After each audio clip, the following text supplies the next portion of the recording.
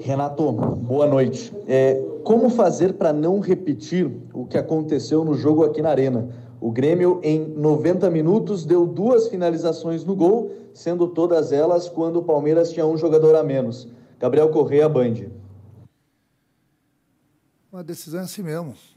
Eu até dei exemplo para o meu grupo que no jogo, na final da, da Libertadores, entre Palmeiras e, e Santos, praticamente não teve chance de gol também.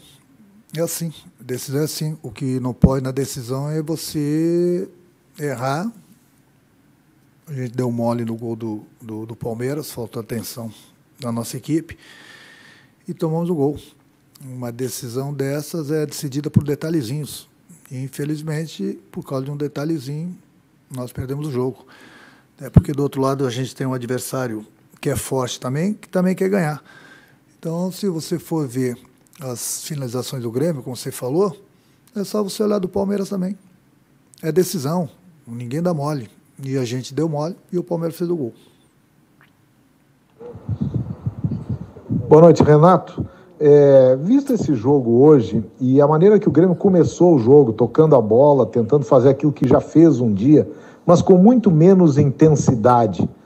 O Grêmio, por que, que o Grêmio não consegue mais ter a intensidade de outros tempos? E isso denota um problema físico, visto que alguns jogadores não suportaram os 90 minutos, mesmo no segundo tempo, tendo um jogador a mais? José Alberto Andrade, Rádio Gaúcha. Não, muita gente fica falando de preparação física, mas ninguém vê quantos jogos o Grêmio já fez, quantas viagens o Grêmio já fez, quantas competições o Grêmio, o Grêmio disputou. Eu vi clubes no Campeonato Brasileiro disputando somente o Campeonato Brasileiro, jogando uma vez por semana e jogadores com cãibra. E aí, como é que vocês explicam isso? A preparação física deles também era ruim, com a semana toda cheia. Então, aqui no, no, sul, no Grêmio, quando as coisas não andam, é sempre a preparação física, sempre a preparação física.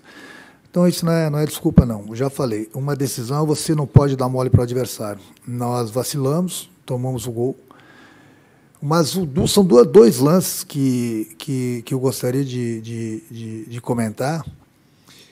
É, eu espero que seja para o Brasil todo, para todo mundo ver. São dois lances que não adianta ficar reclamando aqui porque é chovendo molhado. Mas são dois lances, vocês profissionais, analistas, entendidos, dois lances, quero que vocês coloquem no ar hoje e amanhã. Eu não vou dar minha opinião porque vai. Bom, aí eles vão achar que eu estou reclamando de novo. O Grêmio, na minha opinião, é só você ver todos os lances que o Grêmio foi prejudicado no Campeonato Brasileiro. Muito prejudicado, não foi pouco, não. Então, eu quero que vocês, analistas, olhem esses dois lances. E olha que o Marcelo, para mim, o árbitro do jogo, foi muito bem. É um dos melhores árbitros do Brasil, não tenho do que reclamar. Mas eu quero que vocês analisem o gol do Palmeiras, como houve o escanteio. A bola pega no braço do Rafael Veiga. Do escanteio saiu o gol. E eu quero que vocês analisem e opinem o pênalti que ocorreu no primeiro tempo no PP. Vocês já devem estar com o lance aí. Aí a pergunta, de novo, que eu gostaria que vocês, especialistas, respondessem esse lance, e que o Gaciba viesse em público. E eu gostaria de fazer essa pergunta para ele. Transfira essa pergunta para ele. Gaciba, você como árbitro, isso é pênalti ou não? E mostre o lance para ele. Hoje em dia tem a ferramenta, tem o VAR. Então eu não falo da, da, da, da arbitragem do Brasil. Todo mundo critica a arbitragem do Brasil. Eu acho a arbitragem do Brasil muito boa. Muito boa mesmo.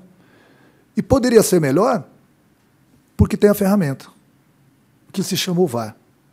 Aí eu pergunto, por que e como, não só para o Gaciba, mas para o árbitro de vídeo também, as duas perguntas, do, essa pergunta para os dois juntos. Isso aqui é pênalti ou não? E aí perguntar para o árbitro de vídeo por que, que não chamou o Marcelo para ver o lance. Claro, mais ou menos parecido com o lance do Rodinei, que ele foi expulso agora contra o Flamengo, sem querer. O lance ele não, ele não, não foi de propósito. Não estou defendendo o Rodinei. Foi sem querer. Mas eu achei que ele merecia o vermelho pela entrada. Mas foi sem querer. E ele foi expulso. E eu acabei de falar isso para o Marcelo árbitro. comentando com ele agora aqui no vestiário. Fui lá no vestiário falar com ele e perguntei por que, que o VAR não chamou ele nesse lance. Então, vocês especialistas que entendem de futebol, falem isso. Comente esse, esse lance e ligue para o Gaciba. Pede para ele falar no ar se ele acha que isso é pênalti ou não do Gustavo Gomes do PP no primeiro tempo. Foi sem querer. Então, sem querer não é mais pênalti, então. Não tem mais pênalti sem querer. Aí a gente fica falando aqui, para que o VAR? Para que a ferramenta? Aí todo mundo quer criticar a arbitragem. Eu não critico a arbitragem. Eu critico somente esse lance do VAR quando ele não chama o árbitro. Ele pode chegar lá, analisar o lance e não dar o pênalti, mas ele foi lá no VAR. Então, no Brasil, não adianta a gente ficar chovendo no molhado.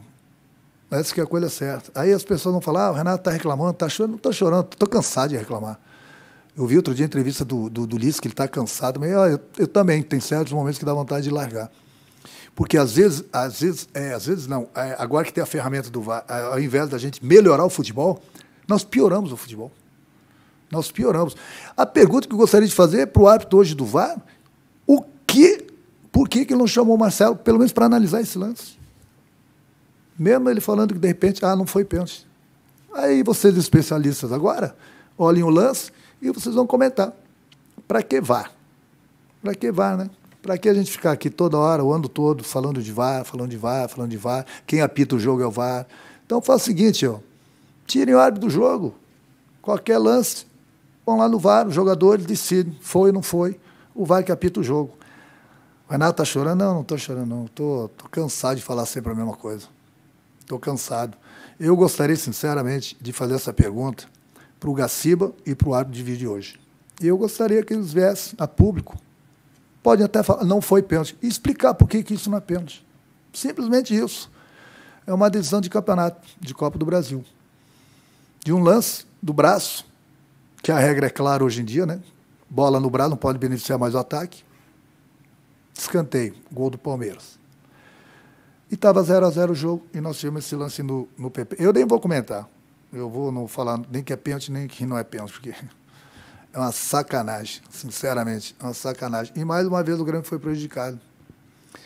Só que né, um erro desse custa um, um título, que a gente trabalha a semana toda, o ano todo, para a gente chegar aqui e ver um lance desse e ficar por isso mesmo. Aí a gente vai falar o quê? Do VAR. Nós investimos dinheiro no VAR. Para quê? Para quê?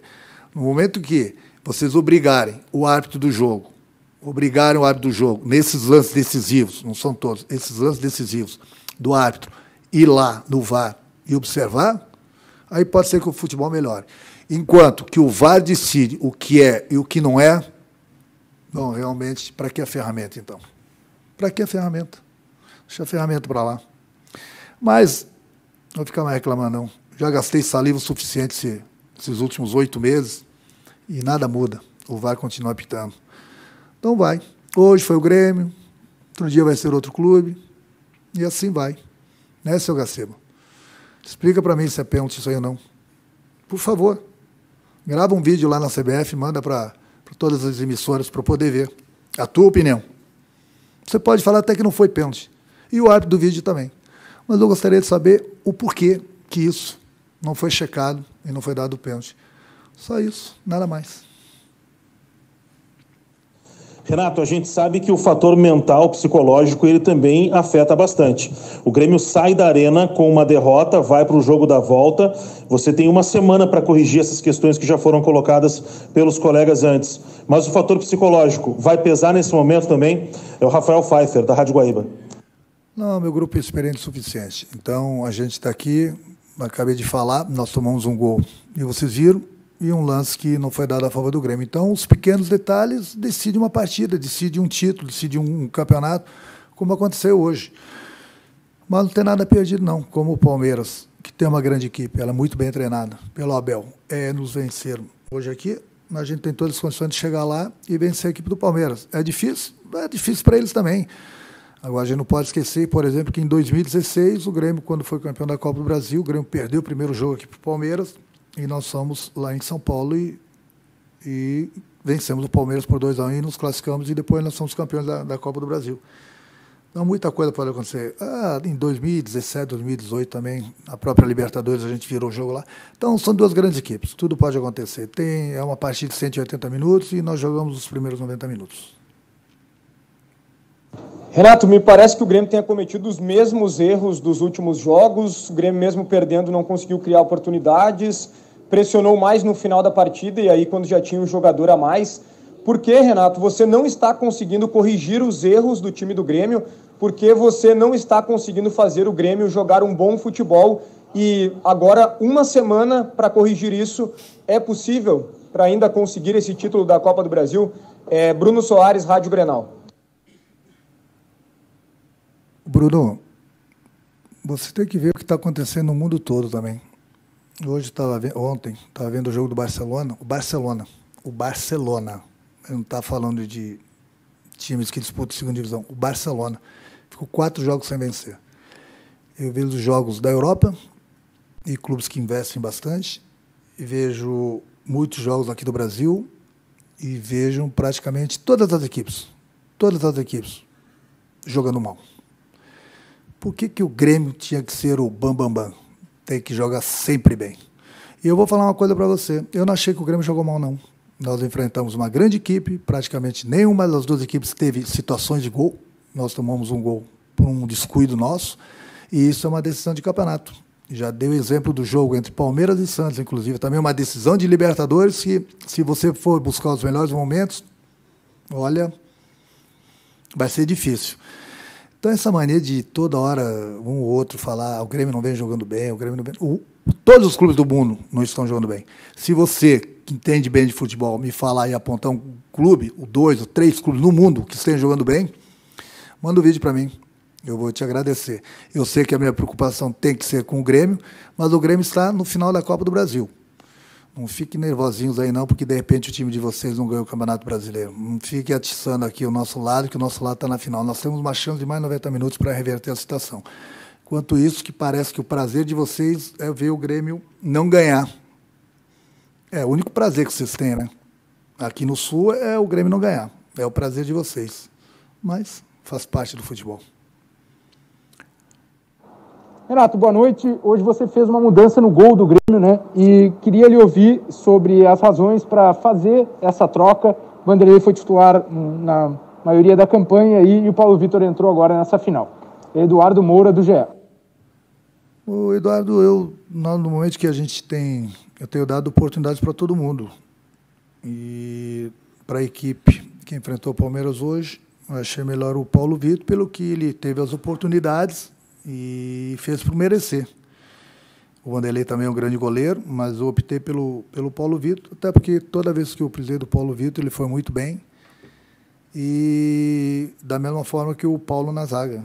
Então, mudei oportunidades, observei e optei pelo, pelo Paulo Vitor porque ele, pelas chances que ele, que ele teve. É a mesma coisa do Paulo na, na zaga. Por isso que eu optei por eles começarem a partida de hoje. Renato, não tem como a gente não abordar esse assunto também. A tua renovação. Tu já decidiu se fica no Grêmio? O que, que falta para anunciar isso? Jeremias Werneck, do UOL e do SBT. É, é uma boa pergunta, Jeremias. É, eu nem comento isso. Acho que o único comentário que eu vou fazer, que eu falei que eu troco as ideias, é com o presidente do clube. Essa semana aqui, os colegas de vocês aqui do Sul afirmaram 100% que eu já tinha acertado com o Atlético. Então as pessoas falam, elas acordam com problemas, vão lá no ventilador, pegam o canhão que é o microfone, vão lá, falam besteira. E é, na maioria das vezes, é. Aí eu não vejo eles chegarem, ah, desculpa, dei uma informação assim, mas eu dei a informação e estava errada, desculpa. Não, não vejo ninguém pedir desculpa. O cara vai lá, fala, afirma, com, sabe, com uma certeza das coisas. Ele não sabe nem o que ele está falando. Não sabe nem o que ele está falando.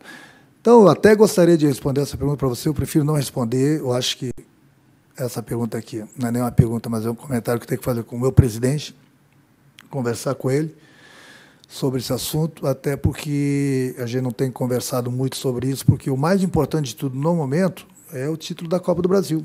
É uma decisão. O contrato, a renovação, o não do, do Renato não tem importância nesse, nesse momento. O importante é a decisão da, da Copa do Brasil. Então, mas é aquilo que eu falo, até entendo a tua pergunta, uns falam que ah, de repente o Renato vai ficar, outros afirmam 100% que eu já acertei com o Atlético. Aí ninguém pede desculpa depois de dar uma notícia dessa sem ter certeza. E assim passa. É assim é Brasil. Se fala um monte de besteira, dois dias depois ninguém mais comenta, ninguém mais sabe. Aí esse, essa mesma pessoa vai lá, dá uma outra notícia, errada de novo, só para variar. Estão sempre desinformados. Né? Fazer o quê? Mas é um papo que mais cedo ou mais tarde vou ter com o presidente, mas no momento é mais importante o, o, a Copa do Brasil. Renato, você teve esse período para trabalhar, para treinar o Grêmio. Na última semana até do Campeonato Brasileiro ficou aqui em Porto Alegre. Mas o Grêmio voltou a apresentar os mesmos erros. Que fato novo dá para criar em uma semana? O que, que dá para apresentar de novo agora com uma semana de trabalho? Para chegar lá em São Paulo e tentar surpreender o Palmeiras, ou principalmente para dizer para o torcedor do Grêmio que o Grêmio lá vai apresentar o bom futebol que não vem apresentando já há algum tempo, seja no Campeonato Brasileiro principalmente, onde teve as últimas atuações. Gustavo Berton, ESPN Fox Sports. Olha, Gustavo, é, o, o, o problema não é. O, o Grêmio ele cria, ele cria bastante. Ele, ele, nós, temos, nós temos um problema já aqui que eu já falei para o presidente. Por isso que nessa troca de ideias que eu tenho tido com o presidente é, é a gente precisa buscar e, e jogadores que sabem fazer gols. O problema do Grêmio é que nós temos pouquíssimos jogadores que sabem fazer gol. E no futebol é fundamental você ter jogadores que sabem fazer gol. É fundamental. Então você vê todas as equipes aí. Eu dou. Nem vou dar alguns exemplos aí, porque se der exemplos vão dizer, ah, não investiram. Mas as equipes que investem, elas buscam esse tipo de jogadores. Então o Grêmio sempre criou e cria. Agora, é importante você ter no grupo, você não pode ter um ou dois jogadores que saibam fazer o gol. Você precisa de mais jogadores que sabem fazer gol. Então, é uma tecla que eu tenho tocado com o presidente justamente sobre isso. O Grêmio precisa buscar jogadores que saibam fazer gols. Porque criar, a gente cria. Situações não aparecem toda hora. E com as poucas situações que aparecem, tem que ser mortal. E para ser mortal, você precisa de jogadores que saibam fazer gols. Então, esse é o maior problema que o Grêmio tem. E isso eu já falei para o presidente. E é por isso que, se tiver que contratar, tem que contratar também. Jogadores que, no momento que cheguem ali próximo da área e dentro da área, sabem fazer o gol. Porque não adianta ficar criando, criando, criando e não tem jogadores que suficientes. Não é que não temos ninguém, mas nós temos poucos. E esses poucos têm que se aumentar para que a gente possa aproveitar melhor as nossas oportunidades. Renato, boa noite. Pensando na decisão do próximo domingo, o que, que você menos gostou da sua equipe nesse confronto de hoje e que você vai é, ter como prioridade para fazer a correção ao longo desta semana? É o Felipe Bueno, da Record TV. É, o, o Felipe, não é que o Grêmio é, é, tenha jogado bem, eu não concordo com vocês que o Grêmio tenha jogado mal. Eu já falei para vocês, é uma decisão é um jogo bastante estudado. A pergunta que eu faço para vocês também: o Palmeiras tem esse time todo, esse plantel todo poderoso. Aí eu pergunto: quantas situações de gols o Palmeiras teve? Então, você vê que é, é, é decisão, não é assim. É, adversário nenhum, nem o Grêmio, nem o Palmeiras, qualquer outro adversário. Já deu exemplo da final da, da, da Libertadores entre Palmeiras e Santos é difícil. Uma decisão, você estuda bastante o adversário, você não pode dar mole. E, infelizmente, a gente deu um vacilo no gol do, do, do, Palmeiras e acabamos tomando o gol do Palmeiras. Se tivessem dado o pênalti no PP, a história seria diferente. O jogo, se eu não me engano, nesse momento estava 0 a 0 então, Faz parte, são poucas oportunidades que as equipes criam, principalmente sabendo que tem mais 90 minutos lá na frente. Então, o jogo foi bastante estudado, de um lado e do outro nenhum dos goleiros tiveram grande, fizeram grandes defesas. Então é um jogo assim, é final de Copa do Brasil. Talvez lá em São Paulo, é... porque nós temos que buscar o resultado, talvez o jogo fique mais aberto. Vai chegar um determinado momento do jogo que o jogo vai ficar mais aberto. Aí provavelmente vamos ter mais situações de gols. Agora, não fico não fico lamentando o jogo de hoje somente pelo gol, lógico, porque é uma final e uma final tudo pode acontecer. O que não podia acontecer foi o vacilo que a gente deu no gol do Palmeiras. Renato, boa noite. Em 2019, o Grêmio saiu em desvantagem na Arena, mas conseguiu o resultado que precisava em São Paulo num 2 a 1. Queria que você traçasse um paralelo com aquele grupo de 2019, que de que forma tu conseguiu motivar esse grupo e o trabalho que foi feito para que se conseguisse a classificação e no caso esse ano o Grêmio precisa do título da Copa do Brasil. Queria que você traçasse esse paralelo. Jéssica Maldonado da Grêmio Rádio Umbro. Não, Jéssica, não adianta a gente ficar falando do grupo de 2019, do grupo 2018, do grupo 2016. É, o grupo que nós temos, que é muito bom, é esse grupo que nós temos aqui. Então, são características diferentes, perdemos alguns jogadores importantes, outros chegaram.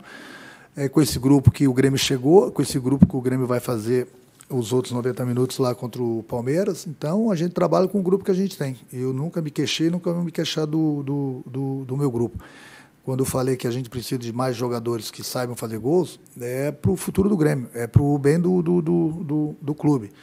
Então, esse grupo chegou na final da Copa do Brasil, chegou com méritos, da mesma forma que o Palmeiras. Então, todo mundo fala que o Grêmio não jogou bem. No meu entender, foi um jogo muito estudado. Poucas oportunidades para ambos os lados. E o Palmeiras soube aproveitar o nosso vacilo e venceu. Se, não, não, se a gente não tivesse falhado no gol do Palmeiras, o jogo teria terminado 0 a 0 Aí todo mundo ia falar, ah, é um jogo disputado, um jogo pegar, tem mais 90 minutos, coisa assim. Então você não pode é, é, se descuidar, você não pode dar mole para o adversário. A gente deu mole para o adversário e infelizmente a gente perdeu o jogo. Temos uma semana pela frente e temos mais 90 minutos pela frente depois no próximo domingo. Boa noite.